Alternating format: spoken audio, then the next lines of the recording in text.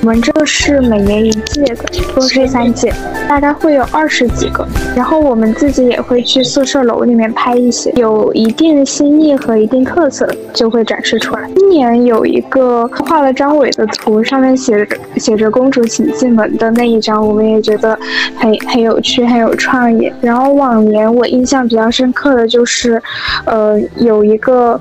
本监控已与幺幺零联网的门牌，他们的嗯宿舍正好是幺幺零号，能把这个联合起来很有意思。然后还有了一些，好像说呃所有显示的人都太喜欢睡觉了，所以他们选择呃选择了一个叫不省人事的门牌。我觉得嗯宿舍门牌呢是一个可以展现大家校园生活的切角，所以我们就做了这几期。然后这个活动也是让我觉得同学们都很有创意，很有趣，感觉大家都是。人才。